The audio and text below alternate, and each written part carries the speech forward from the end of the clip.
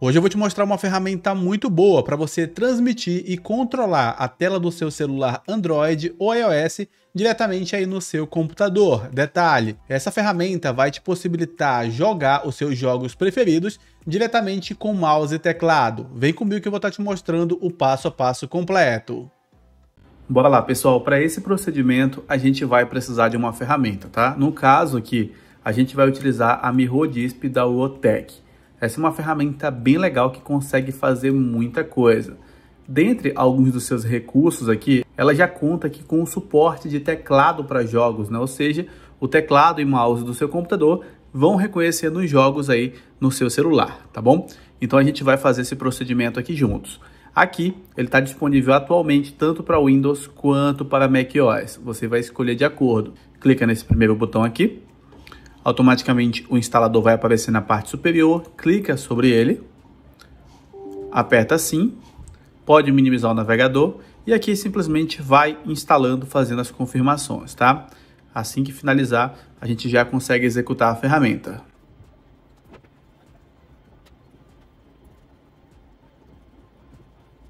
Pronto, assim que finalizar, é só clicar em Start Now Após finalizar, a ferramenta será executada automaticamente, tá? Observe, aqui está ela, nossa tela executada, e aqui o atalho para você executar sempre que você precisar. Então aqui, você vai ter que escolher o dispositivo que você quer espelhar, tá? No caso, ele consegue espelhar iOS e também Android. Você vai escolher de acordo, e aqui ele já vai falar, conecte seu dispositivo ao computador. No caso aqui, a ferramenta trabalha com conexão via cabo USB. Pronto, ele identificou aqui o celular, tá? Mas ainda assim ele não vai conseguir conectar. Isso porque no seu celular você precisa habilitar a depuração USB, tá? Então, se o seu não tiver com esse recurso aqui, opções de desenvolvedor habilitado, você vai ter que clicar em sobre o telefone, vai até informações de software e aqui você vai clicar várias vezes sobre o número da compilação, tá? Aí você retorna que essa opção aqui de desenvolvedor vai estar habilitada no seu dispositivo. Você vai rolar e vai procurar por depuração USB. Vai dar OK aqui, vai dar permissão novamente. Bom, o meu não estava conectando diretamente, então eu tive que fazer uma pequena alteração no cabo USB, tá? E agora, como vocês podem ver, a gente conseguiu transmitir a tela do celular diretamente para o computador. Então, tudo que a gente usar no celular vai refletir automaticamente lá no computador, tá? Até mesmo se você quiser colocar o modo rotação de tela, também será refletido lá. Tá? Então aqui rotação automática, eu posso simplesmente virar a tela aqui, que ele também vai refletir lá. Eu posso ajustar para o tamanho que eu quiser e consigo utilizar, tá? Então bora lá, vamos primeiro conhecer a ferramenta e ver tudo que ela traz para a gente aqui. Aqui na parte superior da ferramenta temos aqui uma central de mensagens, temos como fixar sempre no topo essa janela acima de qualquer outra janela do nosso computador, ou seja, se você marcou aquela opção fixar e executar alguma coisa, tudo que você executar vai ficar no fundo, tá? Nada vai sobrepor a janela aí do seu dispositivo, o que é muito legal, tá bom? Agora, se você desmarcar, é claro que alguma coisa vai conseguir sobrepor, tá? Se você executar depois de desmarcado, ele vai sobrepor tudo. Então, isso aqui é um recurso bem interessante também. Aqui temos a opção de colocar sempre em tela cheia, né? Você pode colocar aqui, ó. Aí você consegue controlar o seu dispositivo em tela cheia. E detalhe, pessoal, você consegue controlar com mouse e teclado, tá? O celular tá solto aqui e eu estou simplesmente controlando aqui com o mouse. Tá? Olha só o scroll rodando.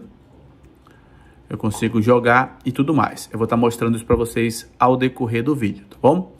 Então, por enquanto aqui, a gente vai voltar aqui para continuar conhecendo a ferramenta, tá? Na parte superior da ferramenta aqui, ó, temos como fazer uma navegação através de botões flutuantes, tá? Temos aqui, ó, voltar, o botão de início, o recentes aqui, tudo isso diretamente no computador. Temos como acessar o mapeamento de teclado e temos como tirar do modo tela cheia, tá? Esse aqui é um recurso que a gente vai testar daqui a pouco. Aqui na lateral temos a opção de conta, onde a gente pode fazer login e tudo mais. Temos controle do mouse, ó, você pode habilitar ou desabilitar esse recurso, ó, tá vendo? Com ele desabilitado você não consegue utilizar o mouse, com ele habilitado você já consegue utilizar o mouse sem qualquer tipo de problema. Você consegue também conectar outro dispositivo. Se você tiver aí um iPhone, tiver um Android ou um tablet, você também consegue conectar no seu computador. Multidispositivos e até mais, tá? Você consegue bater um print screen aqui, ó, clicou em tempo real, imagem copiada para a área de transferência, bem rápido, bem fácil mesmo. Aqui, quadro branco, você consegue fazer anotações em tempo real. Ó, tem como escolher cores, tem como apontar setas né, para local, caso você esteja fazendo um tutorial ou algo assim. Tem como marcar o local específico em tempo real durante o uso, como adicionar um texto, como voltar tudo, retirar, né, apagar tudo. Tem como passar uma borracha em um local específico. Tem como fazer marcações com desenhos como, como círculo, quadrado, setas, pode mudar o tamanho também, a espessura e tudo mais. Do jeito que você quiser, tá? Isso aqui é um recurso também bem legal e você pode estar utilizando diretamente nessa ferramenta. Então vamos retornar aqui. Temos como gravar a tela em tempo real, tá? Ele dá alguns segundos e já começa a fazer uma gravação de tela aí no seu dispositivo, ó. ó ele mostra o tempo aqui também que está sendo decorrido, ó. No caso, 3 segundos de gravação. Você pode gravar você jogando, você navegando, tudo que você quiser, tá?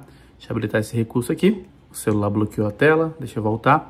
E olha só que interessante, né? Você consegue gravar suas gameplay direto feito no seu dispositivo. Coloca o dispositivo do lado e utiliza aí em tempo real, tá? Gravação finalizada, se quiser verificar essa gravação, você pode aqui em tempo real, direto aí no seu computador. E a qualidade de imagem fica muito boa, tá? Fica bem definido e fica bem fluido aí na gravação, tá? Então a gente retorna aqui novamente, pode estar tá fechando. Temos também outros recursos aqui, ó, como configurar o mapeamento de teclado e também de controle, tá? De joystick. Olha só que legal. Então você pode jogar vários jogos, como PUBG, Minecraft, Free Fire e outros jogos que necessitam de um mapeamento de teclado e mouse. Tá? Então a ferramenta chega a oferecer tudo isso aqui, ó. Você tem como mapear em tempo real ou deixar o mapeamento automático. Tem como mexer na transparência, na sensibilidade do mouse e setar também cada tecla aí do jeito que você bem entender. A gente vai testar isso daqui a pouquinho, tá? E temos também a opção transmitir, né? Que você pode transmitir essa janela aqui diretamente para o Zoom, para o OBS Studio ou qualquer outra ferramenta aí que seja de sua preferência, tá? Aqui nos três pontinhos você tem como desativar a tela, transferir arquivos em tempo real entre seus dispositivos tem como fazer algumas configurações gerais aqui, como marca d'água, etc. Mas isso requer a versão VIP da ferramenta. Então fica de olho, caso você tenha interesse, tem muitos recursos VIP aqui que você pode estar tá adquirindo diretamente lá no site deles, tá? Uma ferramenta bem legal e consegue trazer várias e várias funcionalidades. A navegação também funciona aqui na área lateral, ó, bem fácil, você consegue navegar sobre o sistema operacional. Olha só que facilidade, tá? Você também consegue ocultar ali a barra de ferramentas lateral, né? Caso você não utilize o tempo todo, você pode optar em ocultar ou mostrar aí no momento que você quiser, tá? Um ponto bem legal que eu acho bem interessante aqui é que se eu colocar em tela cheia o dispositivo e depois usar a rotação de tela tanto para jogar quanto para navegar, ele vai colocar em tela cheia aqui para mim, tá? E isso não vai servir só para navegação básica. Se você quiser aqui, ó, por exemplo, executar um jogo, deixa eu ver algum jogo aqui colocar o BB Racing, ele vai mostrar ali em tempo real e com uma qualidade muito boa. Reduzir um pouco o volume, ficou muito alto. Beleza, afastar um pouco aqui.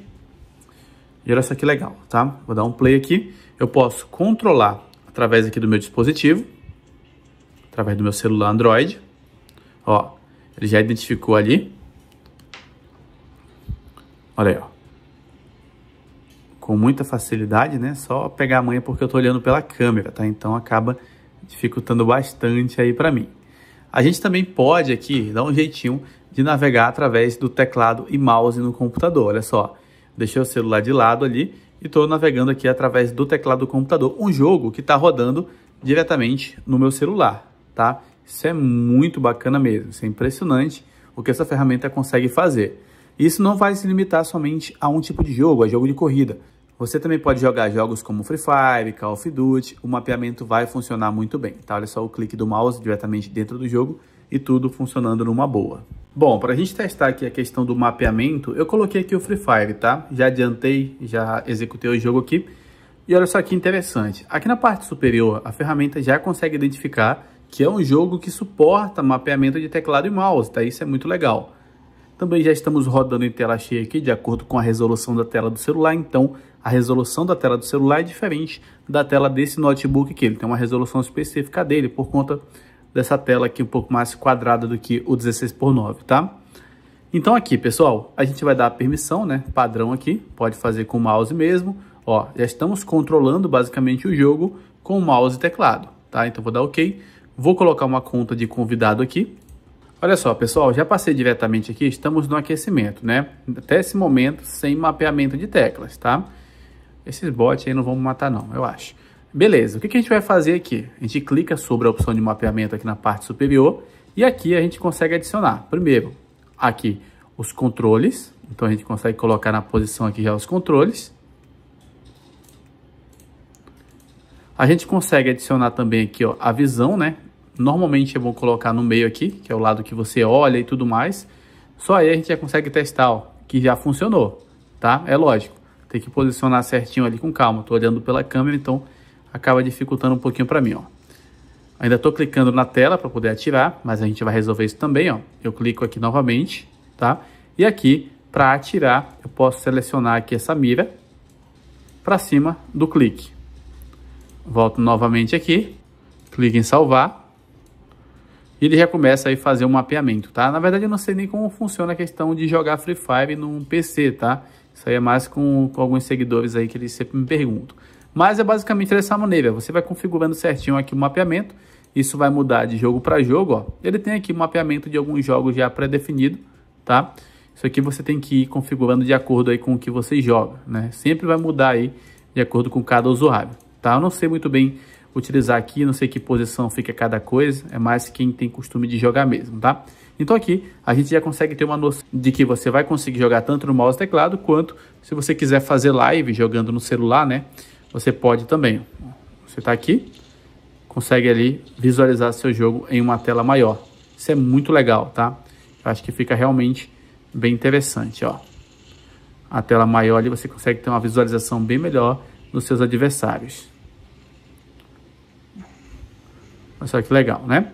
Então é basicamente isso aqui. A ferramenta consegue fazer ali a transmissão de tela, consegue ser controlada com mouse e teclado, você consegue fazer muita coisa e a ferramenta quase não tem delay, né? Ela realmente é muito fluida, ó. olha só que desempenho, tá? É lógico, o cabo USB que você vai utilizar vai influenciar também. Então, eu sempre te recomendo utilizar um cabo USB de boa velocidade, de boa qualidade também, que é para você não ter qualquer tipo de problema. Então, vou ficando por aqui e até um próximo vídeo.